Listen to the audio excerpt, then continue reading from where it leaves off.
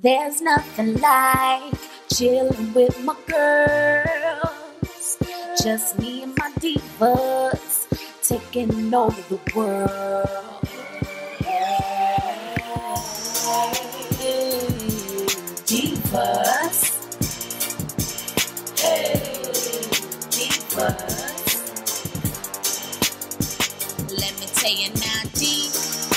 Hey love, so it's your April and today's video is going to be by rpghair.com.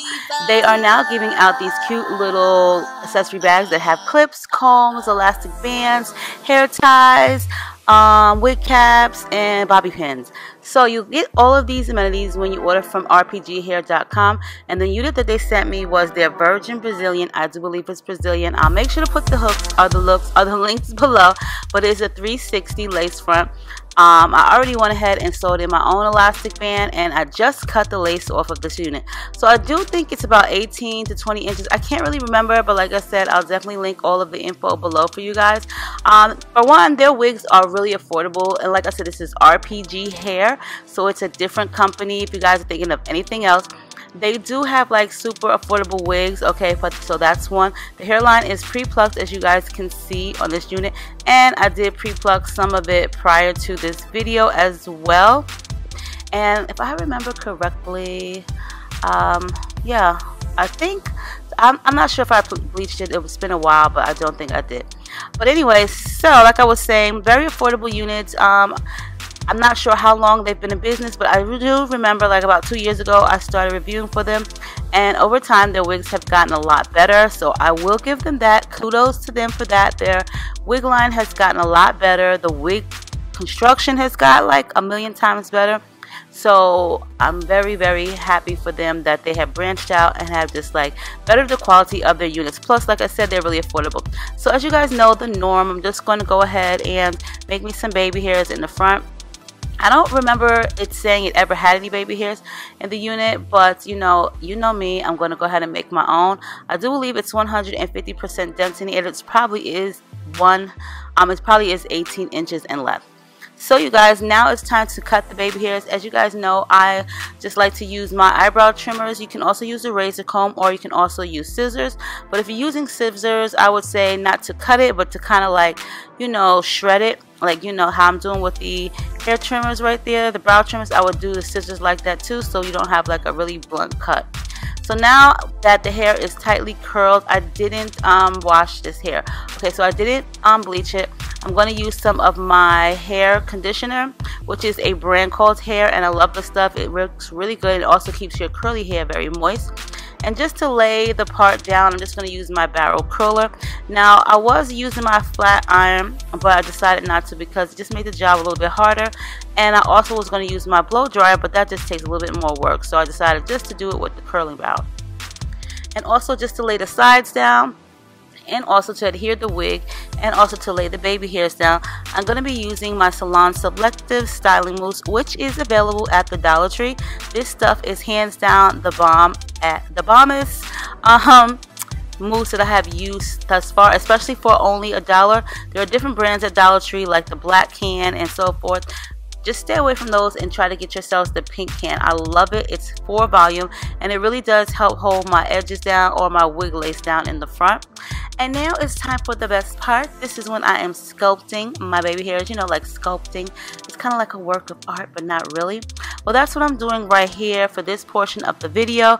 And I'm going to be sculpting those baby hairs down with a toothbrush or as you guys will know we call it our edge brush um, yeah so I call it my sculpting brush because it does get a little bit harder at the bristles once I put in hairspray or mousse and I just allow it to build up but once I wash it she goes back to just being normal which is great.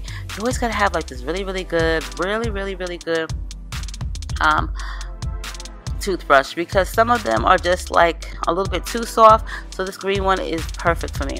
And I'm just gonna go ahead and make some baby hairs on the opposite side. I didn't really want too much because the hair is very wild it's big but it's very soft and it's very pretty hair. And I do like the way that the curls just separate themselves from one another. So that way it looks more natural and some of them may look a little bit of frizzy and so forth but I do like how they look a lot more natural when they kind of like are under you know, processing or so forth. So just to hold down the gel, um, excuse me, not the gel, but the hairspray for like 5-10 minutes, I'm just going to take one of my favorite scarves that I sleep in and I'm going to wrap that around. And I'm also going to kind of like put a little bit of heat onto my scarf so that way it can penetrate through to the lace and the actual hairspray and mousse will dry. But like I said, you don't have to do it this way. You can use a blow dryer, which I did show you guys in a recent big wig video with blue hair. I love the blow dryer method much better. I'm not sure why I didn't start doing that, but I just do it for my daughter's hair and I decided to do it for my own especially because I know that Pump It Up does stick really well especially to heat. So um, Got2b freeze blast hairspray is amazing but I suggest you guys give a try to pump it up. They have some really great um, products as well as they also have like some good good hairspray um, so this wig is actually really pretty. It is like I said 150% density. It's soft hair and it is like deep wave.